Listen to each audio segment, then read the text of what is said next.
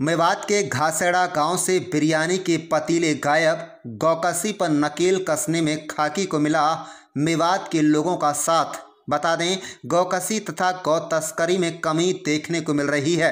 न केवल गौकसी की घटनाएँ कम हुई हैं, बल्कि दूसरे राज्यों से गायों की तस्करी में भी बड़ी गिरावट दर्ज की जा रही है। यही कारण है कि नूह ज़िले में एक एक गाँव में कई कई दर्जन बिरयानी के पतीले अब पूरी तरह से गायब हो चुके हैं। खाकी की शक्ति के साथ साथ इसमें आमजन के सहयोग की जितनी प्रशंसा की जाए, उतनी कम है। ऐतिहासिक गांधी ग्राम घासेड़ा में बिरयानी बिरयानी के बर्तन पतीलों का अब पूरी तरह से सफाया हो चुका है, जहाँ कई दर्जन बिरयानी के पतीले गुरुग्राम अलवर राष्ट्रीय राजमार्ग पर घासेड़ा गाँव में दिखाई पड़ते थे। और वहाँ दूरबीन से भी देखने को एक भी पतीला नज़र नहीं आया। गौकसी तथा गौ तस्करी की वारदातों में कमी आने से न केवल स्थानीय लोगों ने राहत की सांस ली है, बल्कि पुलिस विभाग के अधिकारी भी लोगों के सहयोग की सराहना कर रहे हैं। आपको बता दें कि हरियाणा का मुस्लिम बाहुल्य नुह मेवात जिला गौकसी तथा गौ तस्करी के लिए काफ़ी बदनाम था। यही वजह थी कि बजरंग दल से जुड़े लोग आए दिन किसी न किसी घटना को अंजाम दे रहे थे, जिसकी वजह से न केवल कई लोगों की जान चली गई थी, बल्कि काफ़ी लोग मारपीट के दौरान घायल भी हुए। इस तरह की वारदातों से स्थानीय लोगों के साथ साथ पुलिस महकमे की फजीयत भी हो रही थी।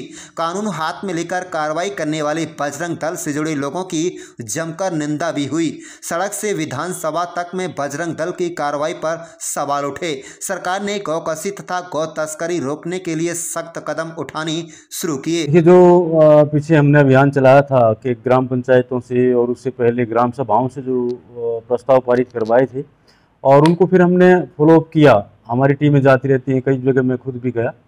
तो उससे काफ़ी असर आया है। दूसरा हमने जो रेड्स की जो हमारे पुराने पेंडिंग अपराधी थे, उनको पकड़ा। तो ये सब चीज़, चीज़ें मिल काम कर रहे हैं और इनका काफ़ी असर आया। दूसरा, हमने जब जब से ये ड्रोन का सिस्टम हमने चलाया, ड्रोन से निगरानी करनी शुरू की है तो उसका भी काफ़ी असर देखने को मिला है और सबसे बड़ी बात कि आम जनता का साथ इसमें मिला है। कहीं भी गोकसी की, जैसे हरकत होती है तो तुरंत हमें सूचना मिल जाती है और उसका एक्शन भी लेते हैं।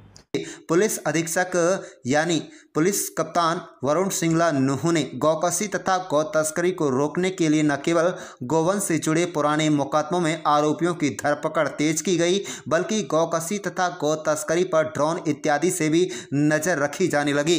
पुलिस विभाग के अधिकारी फ़ील्ड में उतरे और गाँव गाँव जाकर लोगों से गौकसी तथा गौ तस्करी की रोकने की अपील की गई। वहीं लोगों ने भी गाँव में बदनामी के दाग को धोने के लिए कमेटियाँ बनाई गई और गौकसी तथा गौ तस्करी से जुड़े लोगों पर नज़र नज़र रखी गई। उसका असर चंद दिनों बाद ही दिखाई देने लगा। जिस इलाके में बड़े पैमाने पर गौ हत्या की बात की जाती थी, अब उस इलाके में छुटफुट घटनाएँ सामने आ रही हैं।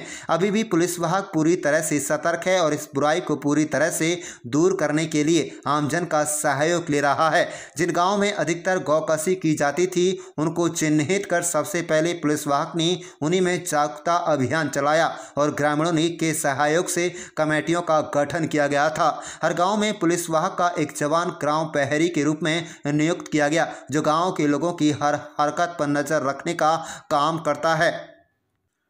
गौरतलब है कि गौकशी तथा गौ तस्करी की वजह से इस इलाके का सदियों पुराना भाईचारा खराब हो रहा था। बजरंग दल से जुड़े लोग प्रदेश भर से आकर यहाँ पर गौकसी तथा गौ तस्करी रोकने का दम भरने लगे। उसी के चक्कर में कई बड़े विवाद हो गए। भरतपुर ज़िले की बात की जाए तो पहाड़ी तहसील के घाटमी का गाँव के नासिर व जुनैद को ज़िंदा चलाने की घटना लोगों के सामने आई। तो हर किसी ने इसकी निंदा की। कुल मिलाकर नूह जिला अब पुरानी बातों को भूलकर आगे बढ़ने में पुलिस वाहक का जीतोड़ सहयोग कर रहा है।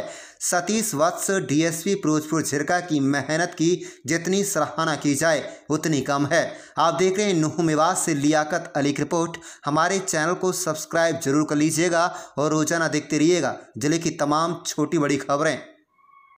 तो इन सब, सभी चीज़ों ने, पंचायतों ने और जो हमारे सोर्सेज थे उन्होंने और पुलिस ने एक मिल के काम किया है, उससे हम इसमें कमी लाने में कामयाब हुए हैं। और बिरयानी का भी यही कारण है कि जब गौकसी पर लगाम लग गई है तो वो बिरयानी में भी स्वाभाविक था कमेटी देखिए, उस चीज़ का भी ये हमने हमने मोटिवेट किया है, जो कमेटी बनाई थी, जब पहले तो हम काफ़ी गाँव गाँव में जाके मोटिवेट किया लोगों को। फिर कई बार हम थाने में बुला के मीटिंग करते हैं, वहाँ मोटिवेट करते हैं। तो लोगों की समझ में ये बात आ रही है कि गैर कानूनी काम करना ठीक नहीं है, उन्हीं के खुद के बच्चे खराब होते हैं। तो ये चीज़ें हम समझाने में आ, किसी ना किसी हद तक कामयाब हो रहे हैं और उसी का असर ये देखने को मिल रहा है।